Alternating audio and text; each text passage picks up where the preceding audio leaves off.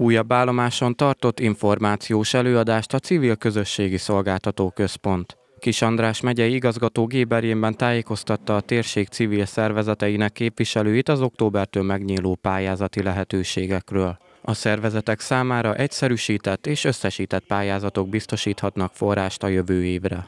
Ezen a két támogatási lehetőségen keresztül a civil szervezetek kaphatnak működési, illetve szakmai programjaik megvalósítására támogatást. Ezt a konstrukciót mutatjuk be most a civileknek.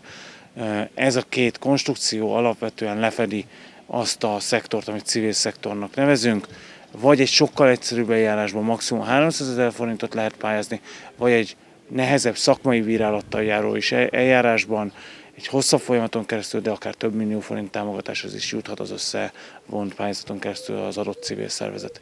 A tájékoztatónak helyet biztosító Jót és Jól Egyesület is civil szervezetként kezdte meg működését, a pályázatok adta lehetőségeket kihasználva pedig ma már állami feladatokat is ellátnak.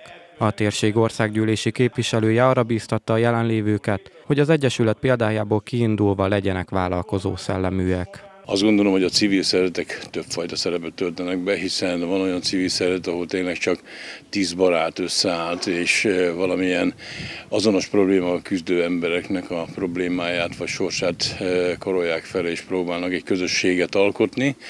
Például a mozdulni, mozogni szerető klubja, a kerékpárosok klubja, de van komoly szeret itt a Jócsól Egyesületnél, aki már 250 fő foglalkoztatásánál jár. Kovács Sándor elmondta továbbá, a kormány a Nemzeti Együttműködési Alap révén évről évre nagyobb forrás biztosít, ebben az évben pedig már a Magyar Falu programban is pályázhatnak a civil szervezetek.